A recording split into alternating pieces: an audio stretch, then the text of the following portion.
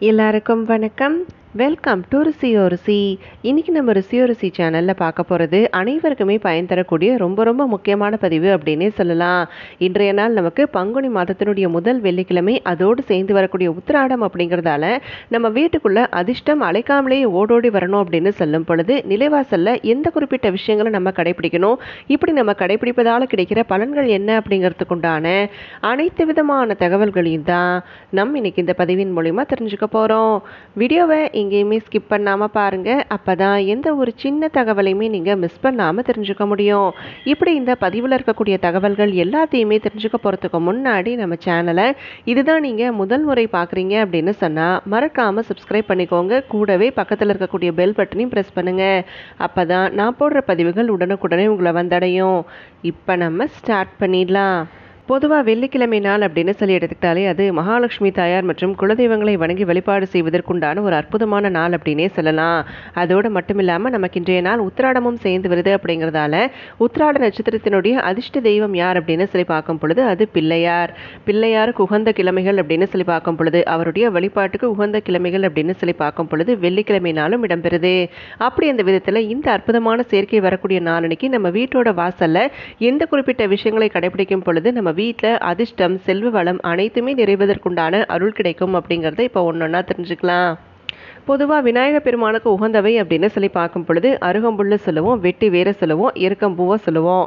நம்ம இந்த வழிபாட்டுக்கு அதாவது இந்த நிலைவாசல் பகுதியில் நமக்கு அதிர்ஷ்டம் தேடி வரணும் அப்படின்னு சொல்லும் பொழுது அருகம்புல் இல்லைனா வெட்டி வேர் எது உங்களுக்கு அதிகப்படியாக கிடைக்குதோ அதை நீங்கள் எப்படி மாவிளை தோரணம் தயார் செய்வதற்கு மாவிளையை கோர்ப்போமோ அதே மாதிரி தான் அருகம்புல்லையோ இல்லை வெட்டி வேரையோ நீங்கள் தொடுத்து மாலையாக கட்டி நிலைவாசல் பகுதியில் வைப்பது அப்படிங்கிறது செய்யணும். நீங்கள் ஒன்று தோரணம் மாதிரி தொங்க விடலாம். இல்லை உங்களுக்கு கொஞ்சமாக தான் இருக்குது அப்படின்னு சொல்லும் பொழுது அதை நீங்கள் பூ கட்டுற மாதிரி கட்டி வாசல் பகுதியில் மாவிளை தோரணம் வைக்கக்கூடிய இடத்துல வைப்பது அப்படிங்கிறத செய்துக்கோங்க. எதனால் இந்த குறிப்பிட்ட செயலை செய்கிறோம் அப்படின்னு சொல்லி பார்த்தீங்கன்னா வெட்டி வேர் அப்படின்னு சொல்லி எடுத்துக்கிட்டாலே அது நமக்கு வெற்றிகளை குவிக்கக்கூடிய ஒரு அற்புதமான வேர். வெட்டி வேரை வைத்து நம்ம செய்யக்கூடிய எந்த ஒரு விஷயமா இருந்தாலுமே சரி அது கண்டிப்பாக வெற்றியில் மட்டும்தான் முடியும்.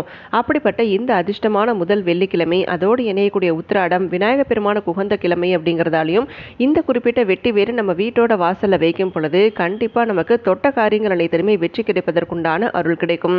வெட்டிவேர் கிடைக்கல இல்லை கொஞ்சமாக தான் இருக்குது அப்படின்னு சொல்லும் பொழுது நீங்கள் அப்படியே பயன்படுத்திக்கோங்க. அருகம்புல் இருக்குது அப்படின்னு சொன்னாக்க அருகம்புல்லையும் நம்ம மாலையாக கட்டி அணிவிப்பது அப்படிங்கிறது செய்துக்கலாம். அருகம்புல் பொதுவாகவே பார்த்தீங்க அப்படின்னு சொன்னால் நம்ம வீட்டோட வாசலில் கொஞ்சமாக இருந்தாலே போதும். கட்டாயமாக நம்ம வீட்டுக்கு விநாயகர் பெருமான் அழைக்காமலேயே ஓடோடி வருவார். விநாயகர் பெருமானுக்கு உகந்த கிழமை விநாயகர் பெருமானுக்கு உகந்த நட்சத்திரம் இது அனைத்துமே சேரக்கூடிய காரணத்தாலையும் நம்ம வீட்டோட வாசலில் இந்த அருகம்புல் இருக்கக்கூடிய காரணத்தாலையும் நம்ம மேற்கொள்ளக்கூடிய வழிபாட்டின் காரணமாக செல்வ கணபதி நம்ம வீடுகளில் எழுந்துருளி செல்வ வளங்கள் அனைத்துமே நிறைவதற்குண்டான அருளை வழங்குவார். அதனால கட்டாயமாக இந்த ஒரு விஷயத்தையும் செய்துக்கோங்க.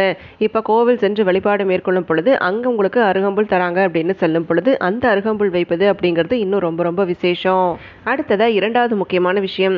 பொதுவாக நம்ம வீட்டோட நிலைவாசல் அப்படின்னு சொல்லி எடுத்துக்கும் பொழுது நிலைவாசல் பகுதிக்கு மஞ்சள் குங்குமத்தால் பொட்டிடுவது அப்படிங்கிறது வழக்கமாக இருக்கும் இல்லைங்களா?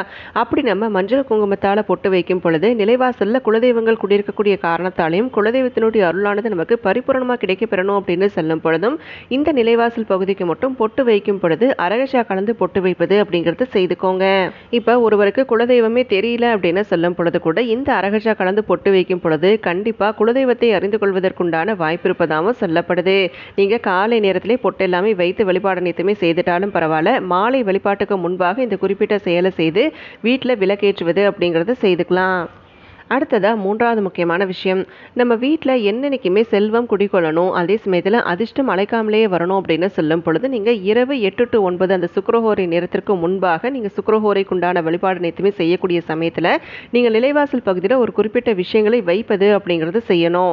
சரி எந்த மாதிரியான விஷயங்களை வைக்கணும் அப்படின்னு சொல்லி பார்த்தீங்கன்னா இரண்டு வெற்றிலை எடுத்துக்கோங்க. அந்த வெற்றிலைக்கு மேலே கொஞ்சம் அச்சதையை வச்சுட்டு நீங்கள் பல வகைகள் என்ன வைத்திருக்கிறீங்களோ அந்த பல வகை ஒன்று ரெண்டு வைப்பது அப்படிங்கிறது செய்துக்கலாம். அதே மாதிரி வெற்றிலை அப்படி அப்படின்னு எடுத்துக்கும் பொழுது கொட்டைப்பாக்கு ஒன்றே ஒன்று வைப்பது அப்படிங்கிறது செய்துட்டு இந்த குறிப்பிட்ட பொருட்களை அப்படியே கொண்டு போயிட்டு வாசல் பகுதியில் நிலைவாசலுக்கு மேலே வைத்து அதுக்கப்புறமா அந்த இரவு எட்டு டு ஒன்பது அப்படின்னு சொல்லக்கூடிய சுக்கரஹோரி நேரத்தில் சுக்கர பகவானுக்குரிய வழிபாடு அனைத்துமே செய்வது அப்படிங்கிறது செய்துக்கலாம். இந்த நிலைவாசலில் வெற்றிலை அனைத்துமே வைப்பது பார்த்தீங்கன்னா நீங்கள் மாலை விளக்கேற்றுவதற்கு முன்பாக அந்த விஷ்ணு முகூர்த்தம் ஆறு மணிக்கு விளக்கேற்றுவோம் பார்த்தீங்களா அதற்கு முன்பாக செய்வது அப்படிங்கிறதையும் செய்துக்கலாம்.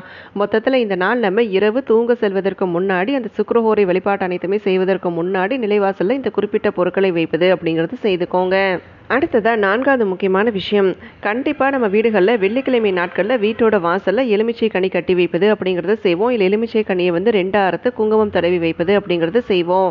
இப்படி இந்த குறிப்பிட்ட செயலை நம்ம செய்வதோடு மட்டும் இல்லாமல் இந்த அற்புதமான வெள்ளிக்கிழமையானது நமக்கு பல விதத்திலையுமே அதிர்ஷ்டத்தை ஏற்படுத்தி தரணும் அப்படின்னு சொல்லும் பொழுது சிறிய அளவில் உருளி இருக்குது அப்படின்னு சொன்னாக்க அந்த உருளியில் நீர் முழுவதுமே நிறைச்சதுக்கு அப்புறமா அதுக்குள்ளே நான் சொல்லக்கூடிய பொருட்களை சேர்த்து மேலே நல்ல அழகான பூக்களை கொண்டு அலங்கரிப்பது அப்படிங்கிறது செய்துக்கலாம். முதல்ல மஞ்சள் மற்றும் குங்குமம் சேர்ப்பது அப்படிங்கிறத செய்திருங்க. இதுக்கு அடுத்தபடியாக ஒரு தொண்டு பச்சை கற்பூரத்தையும் நல்ல நறுமணமுள்ள பொருள் அப்படின்னு சொல்லப்படக்கூடிய ஜவ்வாது பொடியாக இருக்குது அப்படின்னு சொன்னாலும் சரி இல்லை பேஸ்ட்டாக இருக்குது அப்படின்னு சொன்னாலும் சரி சிறிதளவு சேர்ப்பது அப்படிங்கிறத செய்திருங்க. இதுக்கு அடுத்தபடியாக நம்ம சேர்க்க வேண்டிய பொருள் என்ன அப்படின்னு சொல்லி பார்த்தீங்கன்னா கொத்தமல்லி இலை இருக்குது பார்த்தீங்களா? இலைகள் சும்மா கொஞ்சமாக நம்ம சமையலுக்காக பயன்படுத்துறது வாங்கி வச்சிருக்கிறோம் அப்படின்னு சொன்னாக்கா அதை நல்லா சுத்தமான நீரில் கழுவிட்டு இந்த உருளியில் சேர்ப்பது அப்படிங்கிறது செய்துக்கோங்க. அது கூட ஒரே ஒரு எலுமிச்சை கனியும் சேர்த்து மேலே நல்ல அழகான மலர்களை கொண்டு கொண்டு அலங்கரிப்பது அப்படிங்கிறத செய்துக்கலாம். வாசனை பொருந்திய மலர்கள் கிடைக்குது அப்படின்னு சொன்னால் இன்னும் ரொம்ப நல்லது. இப்படி இந்த பொருட்கள் அனைத்தையுமே சேர்த்து நம்ம வீட்டோட வாசல் பகுதியில் வைக்கும் பொழுது கண்டிப்பாக நமக்கு எப்பேற்பட்ட பொறாமை பார்வையால் ஏற்படக்கூடிய முன்னேற்ற தடைகளாக இருக்கட்டும் இல்லை நம்ம வீட்டில் அதிர்ஷ்டம் ஏற்பட மாட்டேங்குதுங்க நான் எந்த ஒரு காரியம் செய்தாலுமே அது ஏதாவது ஒரு சில பிரச்சனைகள் வந்துகிட்டே இருக்குது அப்படின்னு சொல்லக்கூடியவர்களாக இருக்கட்டும் கட்டாயமாக இந்த குறிப்பிட்ட நாளனைக்கு நம்ம செய்யக்கூடிய விஷயமானது நல்ல மாற்றத்தை ஏற்படுத்தி தருவதில் சந்தேகமே இல்லை. அவ்வளவே தான் இந்த குறிப்பிட்ட செயல்களை நம்ம வீட்டோட வாசலில் இந்த அற்புதமான செயற்கை வரக்கூடிய நாளனைக்கு செய்து வைத்தோம் அப்படின்னு சொன்னாலே போதும். கண்டிப்பாக நம்ம வீட்டில் என்றென்றைக்குமே அதிர்ஷ்டம் குடிக்கொள்ளும் அதே சமயத்தில் எப்பேற்பட்ட வறுமை நிலையில் நம்ம சிக்கி தவித்தாலுமே அது அனைத்துமே விலக பெற்று நல்ல ஒரு செல்வ செழிப்பானது ஏற்படும் அப்படின்னு சொல்லி நம்பப்படுது. இப்போ நிறைய பேருக்கு இந்த பதிவை கேட்கும் பொழுது நம்ம வைத்து வெளிப்பட்ட அந்த நிலைவாசலுக்கு மேலே வைத்த வெற்றிலை பாக்கு பழம் இதெல்லாம் என்ன செய்யணும் அப்படின்னு சொல்லி யோசிப்பீங்க இல்லைங்களா? அந்த பொருட்களை அப்படியே யாருக்காவது மறுநாள் சனிக்கிழமை நாள் நாளைய தினம் தானமாக வழங்குவது அப்படிங்கிறது செய்திருங்க. உருளையில் இருக்கக்கூடிய பொருட்கள் அப்படியே இருக்கட்டும் மலர்னுடைய தன்மை மாறுது அப்படின்னு சொல்லும் பொழுது அதில் இருக்கக்கூடிய பொருட்கள் அனைத்தையுமே கால்படாத இடத்துல போட்டுட்டு உருளியில் மறுபடியும் நீங்கள் சுத்தப்படுத்தி இதே முறையில் நீங்கள் வைப்பது அப்படிங்கிறத செய்துக்கலாம். தொடர்ச்சியாக செய்வது அப்படிங்கிறதுனாலும் செய்யலாம். இல்லை வெள்ளிக்கிழமை நாட்களில் இந்த விசேஷ உருளி வைத்து வழங்குவது அப்படிங்கிறதையும் செய்துக்கலாம். அதே மாதிரி இன்னொரு முக்கியமான விஷயம் நான் பதிவினுடைய தொடக்கத்தில் சொன்ன மாதிரி தான் இந்த குறிப்பிட்ட செயல்கள் அனைத்தையுமே நீங்கள் இரவு எட்டு டு ஒன்பது அப்படின்னு சொல்லப்படக்கூடிய சுக்கரஹோரை நேரத்திற்கு முன்பாக செய்து நீங்கள் சுக்கர பகவானை வணங்குவது அப்படிங்கிறது செய்துக்கலாம். இல்லை மாலை ஆறு மணிக்கு நீங்கள் விளக்கேற்றுறதுக்கு முன்னாடி இந்த குறிப்பிட்ட விஷயங்கள் அனைத்தையுமே செய்து வைத்ததுக்கு அப்புறமா விளக்கேற்றுவது அப்படிங்கிறது செய்துக்கலாம். அதே மாதிரி பங்குனி முதல் நாள் அன்னைக்கு மாலை நேரத்துக்குள்ளாக சமையல் அறையில் இருக்கக்கூடிய கல்லுப்பு ஜாடியில் எந்த மாதிரி பொருட்கள் சேர்க்கணுங்கிறதுக்கு உண்டான ஒரு பதிவு கொடுத்துருந்தேன். நிறைய பேர் இதை பார்க்கறதுக்கு ரொம்ப லேட் ஆயிடுச்சுங்க. நான் இப்போ தான் பார்த்தேன் என்ன செய்யறதுன்னு கேட்டிருந்தீங்க. ஒன்று உங்களால் அந்த நாள் செய்ய முடியல அப்படின்னு சொல்லும் பொழுது இந்த அற்புதமான முதல் வெள்ளிக்கிழமை நாளைக்கு செய்தும் பயன்பெறலாம் இப்போ நம்ம இந்த பதிவின் மூலயமா அதிர்ஷ்டமான இந்த பங்குனி மாதம் நமக்கு எல்லா விதத்திலுமே நன்மைகளை ஏற்படுத்தி தரணும் அப்படின்னு சொல்லும் பொழுதும் வீட்டுக்கு அதிர்ஷ்டம் அழைக்காமலேயே ஓடோடி வரணும் அப்படின்னு சொல்லும் பொழுது அற்புதமான இந்த முதல் வெள்ளிக்கிழமையோடு இணையக்கூடிய உத்திராடம் அப்படிங்கிறதால வீட்டோட நிலைவாசல் பகுதியில் எந்த குறிப்பிட்ட செயல்களை செய்யணும் இப்படி நம்ம செயல்கள் செய்வதால் கிடைக்கிற பலன்கள் என்ன அப்படிங்கிறதுக்குண்டான அனைத்து விதமான தகவல்கள் எல்லாமே தெரிஞ்சுக்கிட்டோம். இப்படி இந்த பதிவின் மூலியமாக நீங்கள் தெரிஞ்சுக்கிட்ட விஷயங்கள் அனைத்தையுமே முறையாக கடைபிடித்து அனைத்து விதமான நற்பலன்களையும் பெற்று நல்ல ஒரு சிறப்பான சந்தோஷமான செல்வ வளமான வாழ்க்கையை வாழணும் அப்படின்னு சொல்லி நானும் உங்களுக்காக மனதார வேண்டிக்கிறேன். இந்த பதிவை நான் இதோடு இங்கே நிறைவு செய்கிறேங்க நாளைக்கு மறுபடியும் ஒரு பயனுள்ள பதிவோடு உங்களை நான் சந்திக்கிறேன். அது வரைக்கும் நன்றி வணக்கம்.